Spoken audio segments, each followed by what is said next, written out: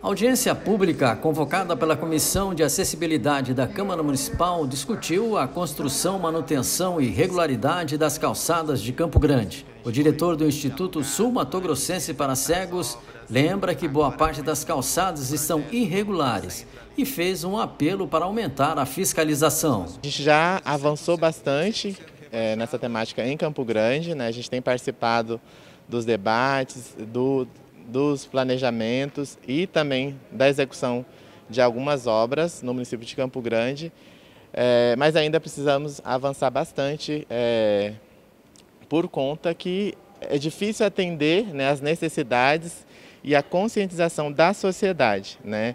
Acho que mais do que executar uma obra prefeita, a gente precisa da conscientização da sociedade no quesito de, de respeitar o, o espaço né, da, do passeio público, do ir e vir da pessoa, das pessoas, né, que a acessibilidade não é bom só para a pessoa com deficiência, mas assim atende toda a sociedade. O secretário do Meio Ambiente e Gestão Urbana, Luiz Eduardo Costa, revelou que Campo Grande tem uma área urbana de 35 mil hectares. Desse total, 17 mil estão desocupadas. Isso traz um problema para o município.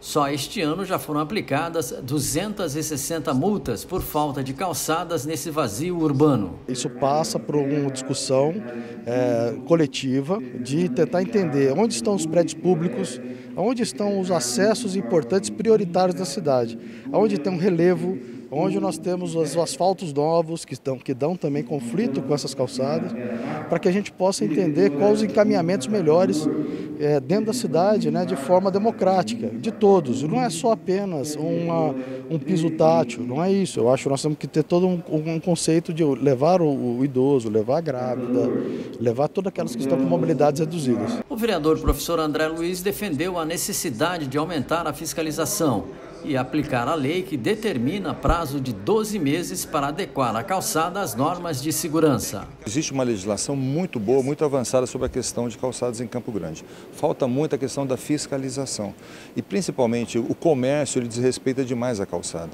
A calçada ela é uma via importante não só para o tráfego de pessoas também, mas de cadeirantes também. A calçada permeável é importante no controle do meio ambiente para evitar as enchentes. Então a impermeabilização da calçada, o rebaixamento não necessário da calçada calçada ou irregular da calçada e a falta do piso tátil ou da guia de acesso é muito importante para a gente melhorar a questão da mobilidade urbana. Nós estamos propondo aqui dentro da casa uma lei onde as calçadas rebaixadas irregularmente para efeito de estacionamento de veículos, elas sejam consideradas é, estacionamentos públicos. Então qualquer um pode parar numa calçada rebaixada irregularmente, porque na verdade você está roubando a via pública de estacionamento do cidadão.